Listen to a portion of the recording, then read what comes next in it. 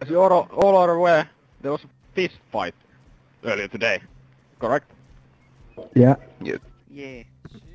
That's something that doesn't happen. Not even the outskirts.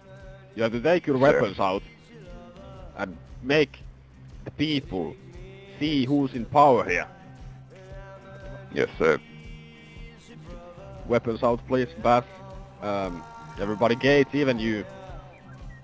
There we go. Dark. I don't know if you know how to use a shotgun, but...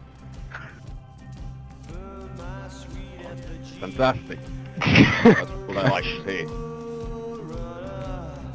So everybody needs to be on point when you notice something. Yo, maybe Roma, get the fuck out of this town. Get the fuck out of this No. town. No. man. She's fucked you up, man. She's fucked you up, man. You've been fine, secure. Look at her. She just. Dog!